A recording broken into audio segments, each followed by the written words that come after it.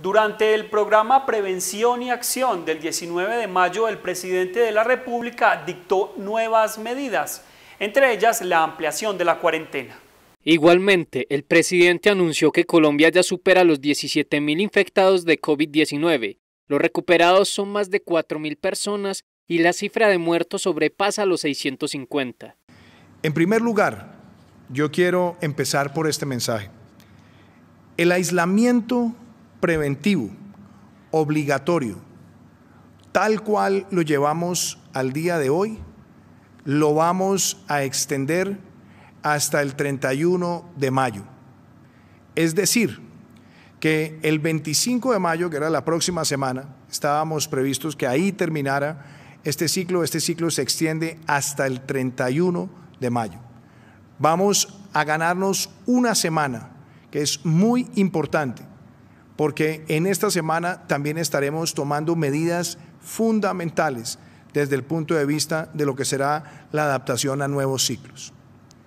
A partir del primero de junio hasta el 30 de junio, iniciamos una nueva etapa de este aislamiento preventivo.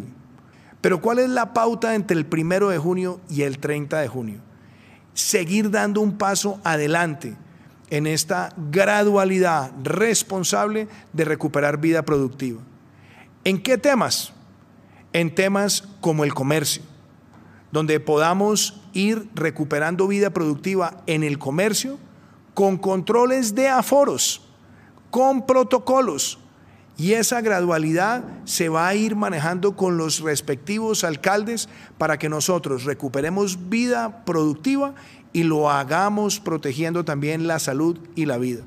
La emergencia sanitaria que inicialmente iba hasta el 31 de mayo también se prolonga hasta el próximo 31 de agosto colegios y universidades, en lo que tiene que ver con preescolar, básica y media, en los meses de junio y julio seguiremos con estudio o trabajo en casa. Pero en esos meses, junio y julio, nos mantenemos en casa. Lo propio ocurrirá con las universidades en esos meses, pero vamos a empezar a darle espacios de recuperación a los temas que tienen que ver con trabajos en laboratorio, con los respectivos protocolos y para eso también se está llevando a cabo ese, esa conversación con las instituciones de educación superior. ¿Y cuál es la idea? Que a partir del mes de agosto empecemos a recuperar presencialidad bajo un modelo de alternatividad. Además, se abre la posibilidad que mayores de 70 años puedan salir pero bajo condiciones de seguridad. Hasta el 30 de junio sigan permaneciendo en aislamiento preventivo, pero con un elemento adicional que lo estará elaborando el Ministerio de Salud en los próximos días y es dar unas pautas para que entre el primero y el 30 de junio empecemos a permitirles a las personas mayores de 70 años poder tener eh, algo de, de espacio exterior con todas las precauciones, con todas las limitaciones y obviamente con todo el apoyo de las autoridades locales. Lo preferible sería que las personas mayores de 70 años permanezcan en sus casas. Sabemos que este ha sido un espacio muy doloroso e incómodo para muchos de ellos, pero estas medidas las estamos tomando pensando en su protección y en la salud. El sector transporte en cuanto a lo nacional, departamental y municipal continúa inhabilitado.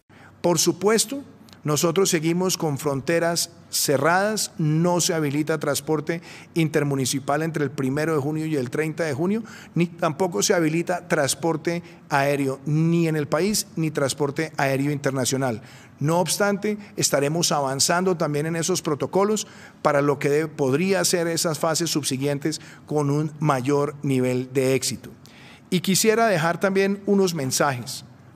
Este espacio que empieza entre el primero de junio y el 30 de junio tiene que llevarnos a nosotros a una conciencia, ir recuperando vida productiva, mas no todavía vida social. El presidente de la República hizo un llamado para que quienes puedan hacer teletrabajo lo realicen en los próximos meses.